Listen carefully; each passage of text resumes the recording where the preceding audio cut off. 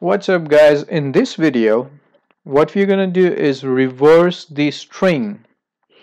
In the last video, we used while loop to reverse the numbers. But in this video, we're gonna use for loop to reverse a string. So let's go ahead and get started. Uh, file, new project. And then we're gonna give it a name as uh, for loop underscore reverse string. Okay so here is our project. We're gonna go ahead and delete this and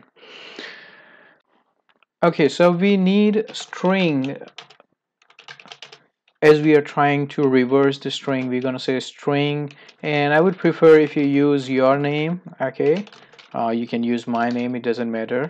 String and then we use the other variable for our storing the reverse of the string. Now we're going to use a for loop.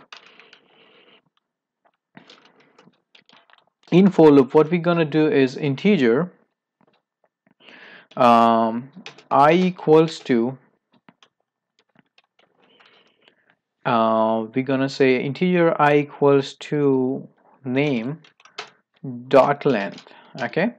Uh, this thing returns the uh, length of the string. And we're going to use minus 1 integer i equals to name dot length minus 1 i should be greater than or equals to 0 and then i minus minus.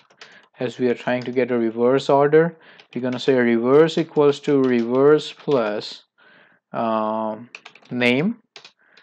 And the item at i. Once we have done this we're gonna say console dot write line and then we're gonna display the value of a reverse string okay? Debug start without debugging. There we go.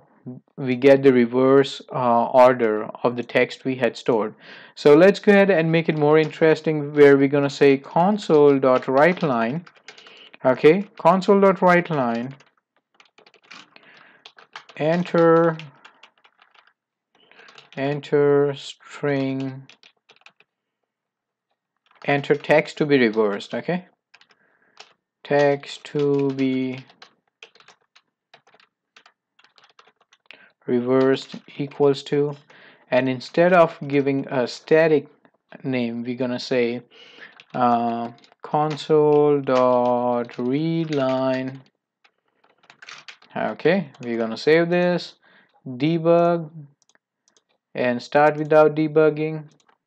And here we add a random text. We're gonna say Anand Patel hello world.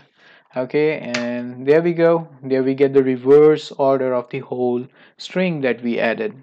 Hey guys thank you for watching this video. If you like this video please go ahead and hit that thumbs up button and subscribe to my channel